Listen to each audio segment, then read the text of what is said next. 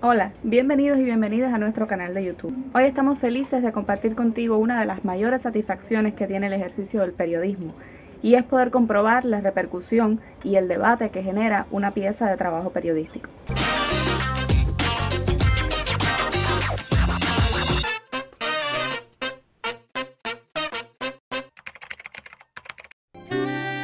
Cuando publicamos a mediados de enero acerca de los tabúes y principales lagunas de ignorancia respecto a la maternidad en el país, decenas de madres dijeron invasor sentirse identificadas y agradecer el tratamiento al tema.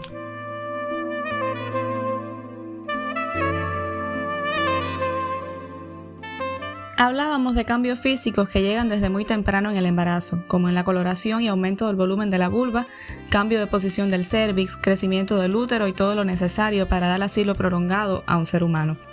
Pero las repercusiones sobre el resto del cuerpo son variadas. Aumento en la salivación, sensación de hinchazón, sensibilidad olfativa, sangrado de encías, estreñimiento, acidez, apetito desmesurado o falta de apetito, gases, aumento de sudoración, cansancio y sueño, dolor mamario, náuseas, micción frecuente, congestión nasal, mareos y dolores de cabeza. Parece mucho, ¿verdad? Mujeres y fuentes consultadas coinciden en algo. En ocasiones, el seguimiento por el programa materno-infantil convierte al embarazado en un objeto y al embarazo en una enfermedad.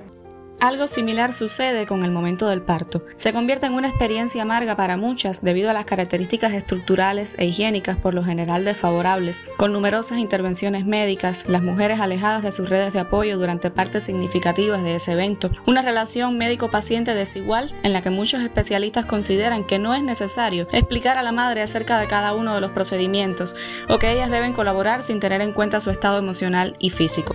Violencia obstétrica hay y mucha. Hay quienes entran al salón y ni siquiera forman parte del equipo médico, decían algunos comentarios al trabajo. Otras madres narraban haber sido regañadas por no poder adoptar cierta posición para las maniobras médicas sin comprensión por su estado físico y mental. El llamado viaje no termina aquí.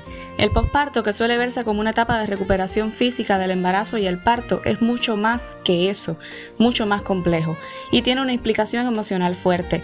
Hay lactancias fallidas, estreñimiento, hemorroides, dolores por los puntos que tiran, bajos niveles de deseo sexual, una relación de pareja diferente, noches sin dormir y una abrumadora nueva responsabilidad entre los brazos.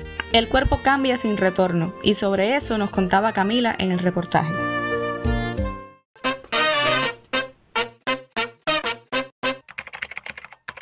Yo no quedé oh, gorda después del embarazo.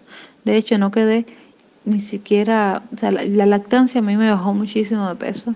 Ahora es que em, comencé a subir de nuevo, pero la, lactancia eh, es un proceso que gasta muchas calorías, muchas calorías. Entonces, eh, a, mí me, me, me puso muy delgada. Eso sí, por ejemplo, para tener relaciones sexuales estuve como traumada como tres meses. De hecho, hoy, a día de hoy, eh, mi líbido no es igual, no, no, no, no me apetece, ya sea por eh, porque estoy cansada ya, porque la niña nos ocupa muchísimo tiempo o porque quizás entramos en una rutina, pero bueno, hoy, hoy como que es muy, muy esporádico, no, no tenemos como la sistematicidad que teníamos antes.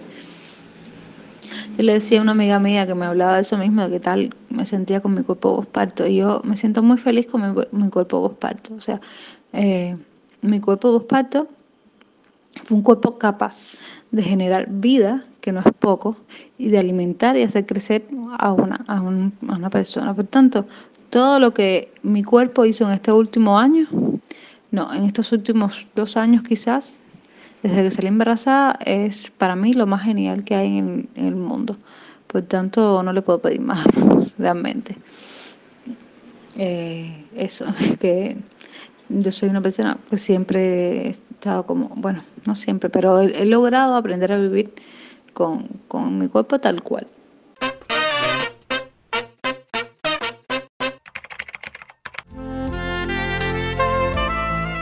Falta mucho camino por recorrer en cuanto a eliminar la violencia obstétrica y el abuso social y psicológico que hay con las madres. Por lo pronto, artículos como estos nos llenan de esperanza, comentaba una vileña en nuestra plataforma. Y es sin duda un punto a favor tener un programa tan abarcador y obstetras de un prestigio incuestionable en la provincia y el país. Por eso el debate no debe caer en saco roto. Aquí nuestro video de hoy. Te invitamos a que lo compartas, a que nos des tu opinión y a que le des me gusta. Y por supuesto a que sigas nuestro canal para que te mantengas pendiente de todas nuestras novedades.